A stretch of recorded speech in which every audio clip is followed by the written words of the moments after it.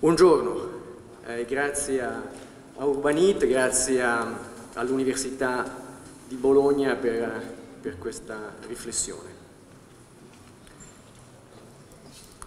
Io volevo eh, condividere con voi due riflessioni, una su quello che sta succedendo a livello europeo e due su quello che sta succedendo in Italia, sulla questione urbana.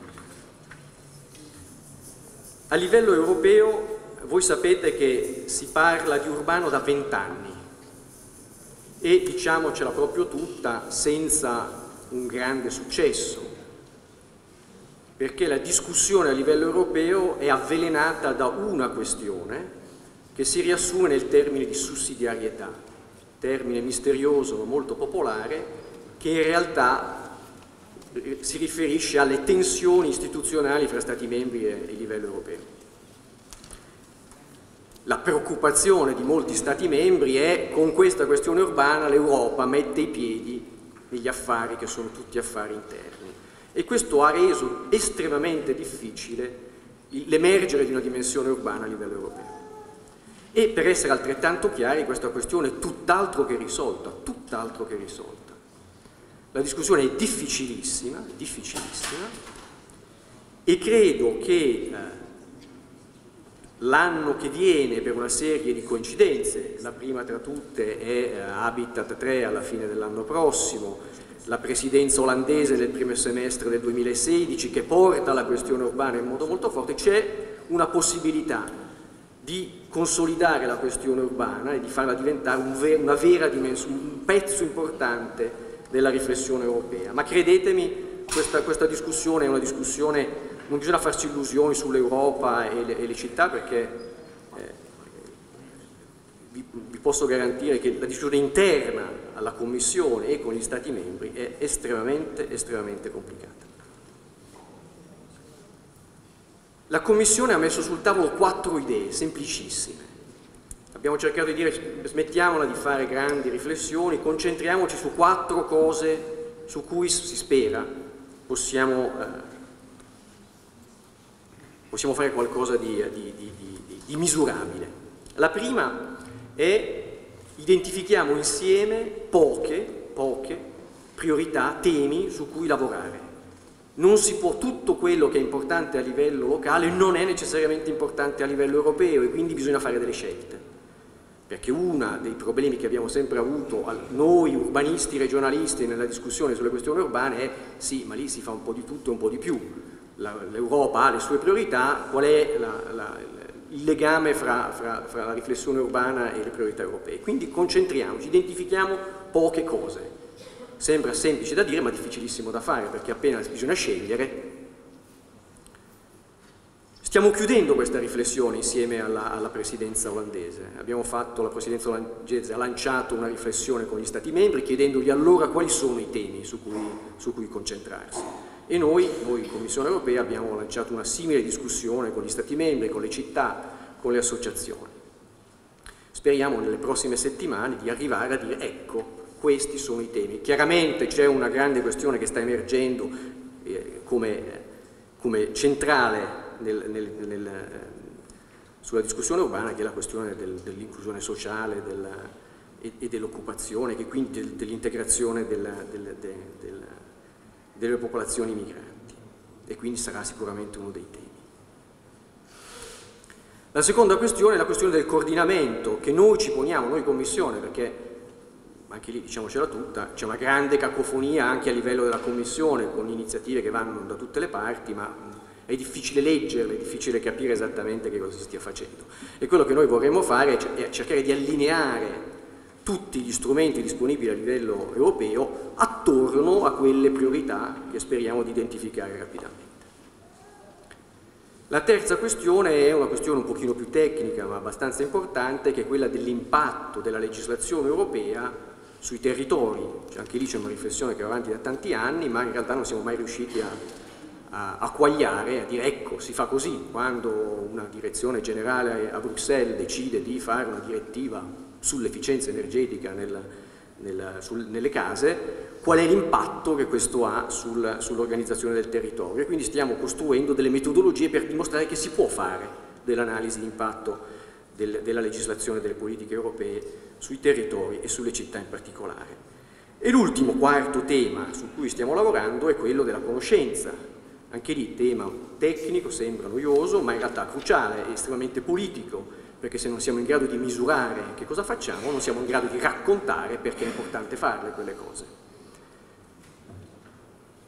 Questa discussione è importante anche per un altro motivo, non solo per far emergere la questione urbana a livello europeo e farla diventare un pezzo della riflessione di come si costruiscono le politiche europee, ma anche perché c'è un'altra riflessione che si sta lanciando in questi giorni, ne parlavamo poco fa con Andrea Cozzolino, che è la riflessione su cosa sarà la politica di coesione dopo il 2020.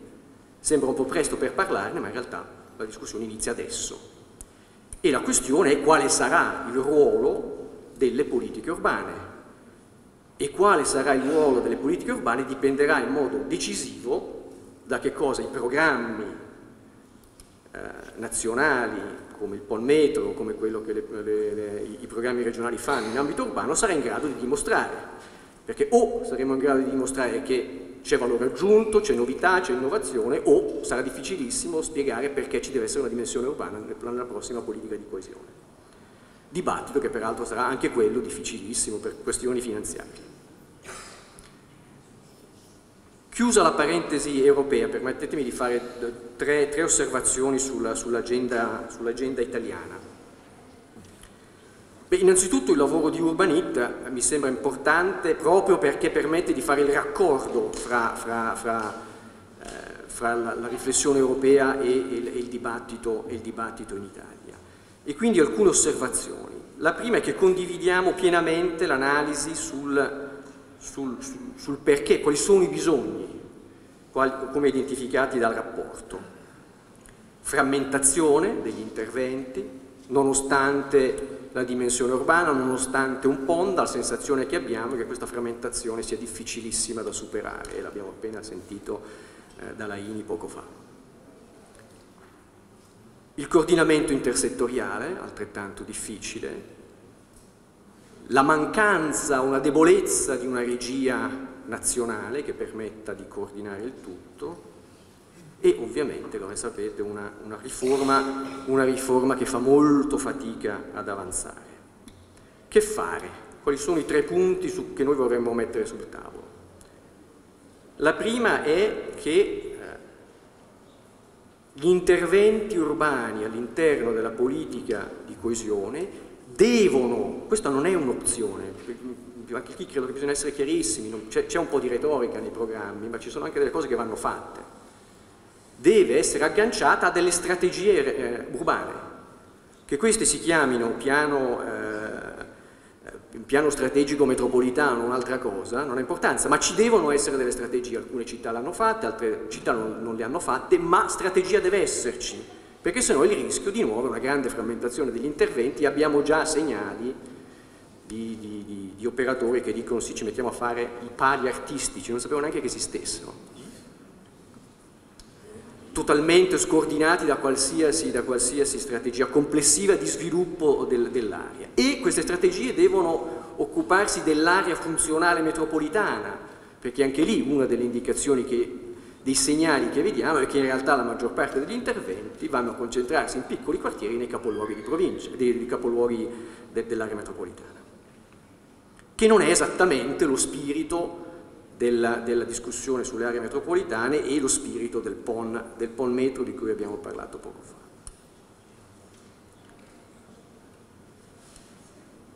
La Commissione ha chiesto e ha ottenuto all'interno del programma del PON metro la creazione di un segretariato tecnico. L'idea era quella di avere una struttura che permettesse di accompagnare i programmi, di accompagnare gli interventi, di essere la testa il cuore tecnico di questo programma, di fare il raccordo con i programmi regionali, perché c'è molto urbano nei programmi regionali, non c'è solo il PON metro, di creare e consolidare conoscenza di, non solo per dare coerenza agli interventi all'interno dei fondi strutturali europei, ma anche per alimentare la riflessione sull'agenda urbana nazionale. Anche questo segretariato tecnico non è un'opzione, noi attendiamo di vedere che questo segretariato sia messo in piedi e funzioni come deve funzionare. È dentro al programma, deve essere fatto. idealmente prendendo competenze dai diversi eh, ministeri eh, che si occupano di politiche urbane, proprio per dare quella, quella, quella necessità di integrazione settoriale che è identificata come una delle, delle, difficoltà, delle difficoltà delle questioni urbane in Italia. L'ultimo punto è che la, la, Commissione è pronta a mettere a disposizione un luogo dove facilitare questa discussione. Voi sapete che c'è una, una rete sullo sviluppo urbano che si sta creando, si sta mettendo in piedi, che è a disposizione delle città come punto d'incontro. Beh, utilizziamola, utilizziamola in Italia per, per facilitare questa, questa, riflessione, questa interazione fra diversi, fra diverse, eh, fra i diversi attori in, in, coinvolti.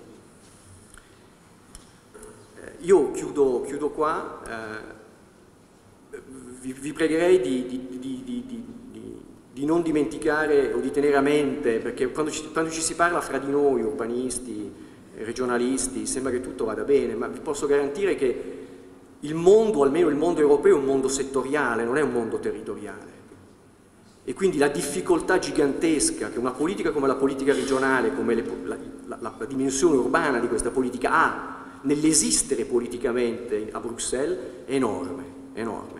E quindi abbiamo bisogno di dimostrare con i programmi regionali, con i programmi urbani, che, una, che, veramente c'è differenza, altrimenti moriremo settoriali, eh, perché è così che sarà organizzato il, il, il, è in questo senso che va il nuovo bilancio e la nuova riflessione, la riflessione europea. Europa 2020 è settoriale, le dieci priorità di Juncker sono settoriali.